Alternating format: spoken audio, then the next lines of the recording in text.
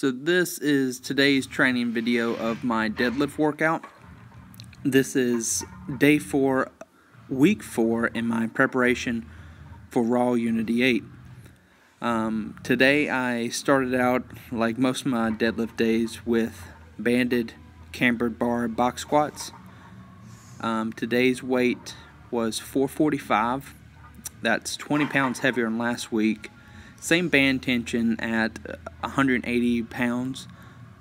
The uh, the boxes are set up about a half inch to an inch above uh, parallel. You can see on the first rep in this set, as well as the other one, I sit back a little more.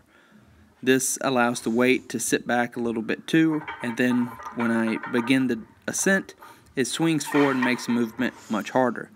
The following two reps, I maintain my tightness and I'm able to shoot a little harder. What I found is that allowing it to go forward a little bit more allows me to control it the following reps a little bit more. I don't know why, it just does. From that, I moved on to my deadlifts.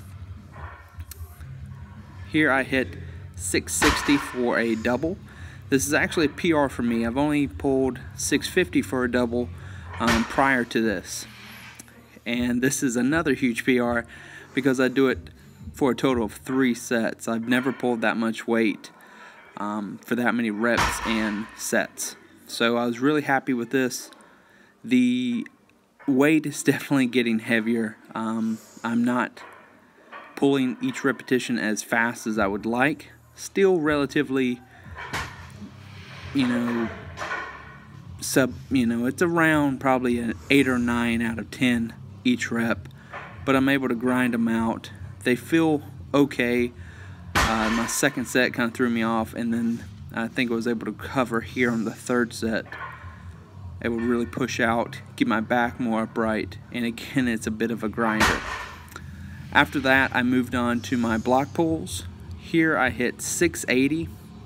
Uh, again, I switched over to straps here uh, to save my grip for next week going to try to pull 675, 680 next week for a good double for a few sets.